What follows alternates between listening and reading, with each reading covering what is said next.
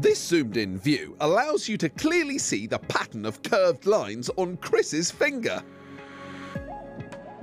There are three basic kinds of fingerprint. There are loops, which Xand and I both have, and that's about 60% of people have that kind of pattern. There are also whorls, which are less common, about 35% of people have whorls.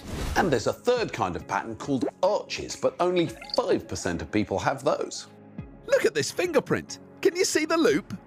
And what about the whorl in this one? Take a close look at your own fingerprints and see what type you have. Now, if you don't have a special lens or a magnifying glass to look at your fingerprints, you can use an ink pad which is like this.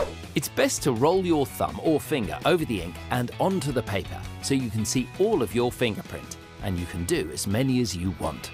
Now, this is brilliant.